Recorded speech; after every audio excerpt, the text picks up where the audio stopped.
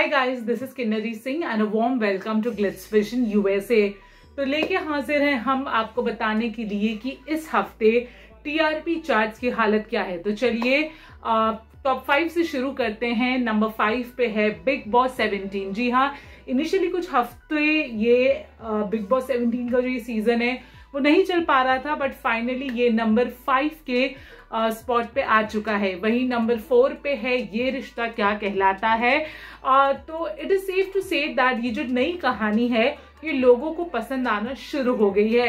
वही नंबर तीन पे अनफॉर्चुनेटली अभी भी अनुपमा है जो कि पिछले तीन चार हफ़्ते से नंबर तीन पे ही है।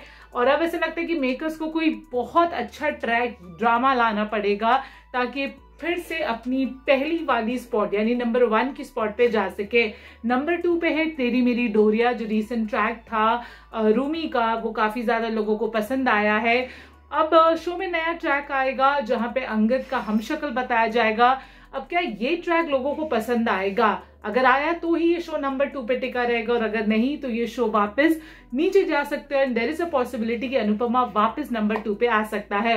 और नंबर वन पे जगह बनाई है, गुम है किसी के प्यार में। जी हाँ एक ऐसा शो जिसने प्रूव कर दिया है कि अगर कहानी एग्जॉस्ट हो जाती है तो उसे खींचने से अच्छा जनरेशन लीप लेने में कोई प्रॉब्लम नहीं है क्योंकि अगर कहानी अच्छी है तो लोगों को इवेंचुअली शो पसंद ही आएगा चाहे एक्टर्स कोई भी हो। ज़रूर बताइए कि इनमें से कौन सा शो आपको ऐसा लगता है कि ये नंबर चार पे लिखने से एक पे होना डिजर्व होना चाहिए?